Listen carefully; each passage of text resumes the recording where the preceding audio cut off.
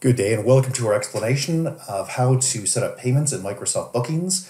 Microsoft Bookings will process money through a service called Stripe and will also take it uh, through PayPal.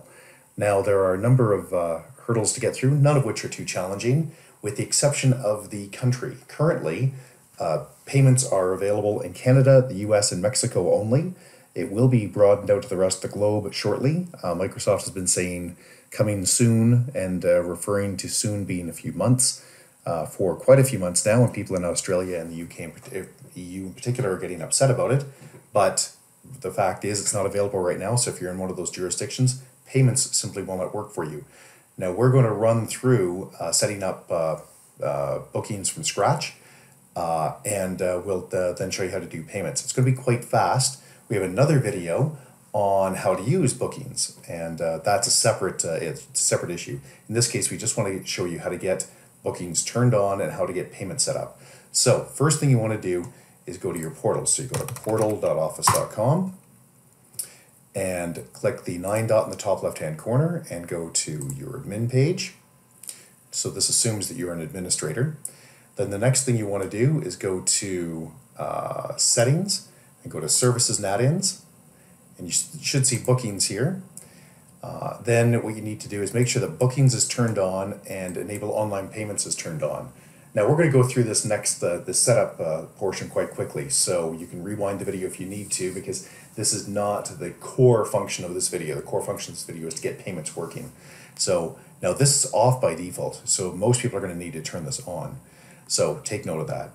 Now uh, if uh, you go into your, your users and you find uh, a particular user uh, does not have a bookings option available, uh, and I'm going to show you that. Okay, so uh, bookings used to be listed under Office 365, but it's been moved. It's now under Business Apps Free, and I'm going to show you this in case, and we're going to go over this a little bit more detail in case you don't have that. So what you need to do is expand Business Apps Free and you need to turn it on for the user in question. Now, if you're missing this section here, what you need to do is go to your billings and purchase services. And you need to make sure that you're in this classic view, not in the new view. So if it says, um, if it doesn't say, if it says anything other than try the preview in the top right hand corner, you're going to need to get out of there. What you need to do is uh, scroll through here until you find bookings. So I already have bookings, so I can't add it, but it's free. So all you do is click on it, add it. Uh, you say you're going to pay. It asks for a credit card. You don't have to give it a credit card. You can also say uh, use a PO, uh, but it's zero dollars, so it just goes through. It takes about an hour to process, and you're on your way. And then when you go back to your, your users, you will see instead of being bookings, as I said, you will see uh, our friend business apps here. And business apps is where bookings is. So that is the rough backend that you need to get set up. Then uh, once you have bookings enabled uh, through the uh, portal like this, you can simply go to bookings.office.com.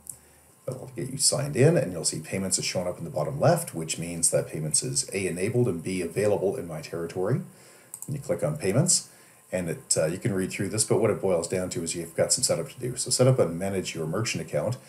Really, before you get through that, I need to go to the business information module, which is just this one here. But I'll click this link over here just for fun. Okay, so the business address is 255th Street, Southwest, Calgary. There we go. That's lovely. My business. And if you don't have that completed, uh, what will happen is uh, you can click set up and manage your merchant account all day long and nothing will happen. No error message, no pop-up, nothing. Very annoying. So um, make sure you uh, make sure you click the link, go to your business information. Uh, then when you go back to payments, once all of these fields and all of them are required, including the terms and the privacy, uh, what you need to do is go to payments and then click set up and manage your merchant account. And you can see that that text at the bottom here is now gone. And that will take us off to a service provider. Now, as I said earlier, that's Stripe or our friend Mr. PayPal. So I'm going to go to my PayPal account and it will prompt for my information. I'm going to gray this out so you can't hide it so you can't see it. But there we go.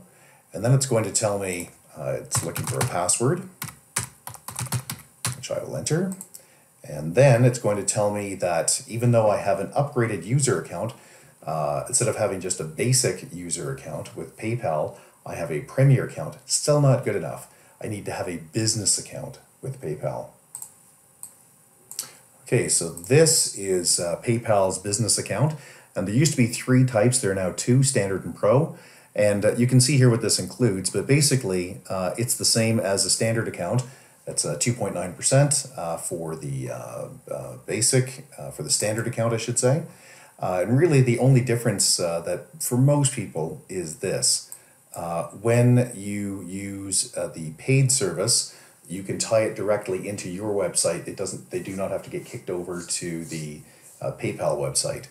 Um, um, this is also a nice feature, being able to take payments by phone. Uh, but regardless, uh, for most people, uh, the standard uh, free account is uh, sufficient. So in my case, I do not want to upgrade my uh, account to a business account, so I'm not going to do that. But if I did, I would simply click upgrade and it will ask for some core information. And at that point, I have to check the box to confirm that I've read everything that PayPal uh, is interested in, and I need to give uh, Microsoft uh, permission as well. And then you just simply click agree and continue. And uh, at that point, uh, we will it will flow through, and you'll be able to finish off setting up your uh, payments with bookings. That's it. If you have any questions, please get a hold of us at www.urtech.ca. Thank you. Bye bye.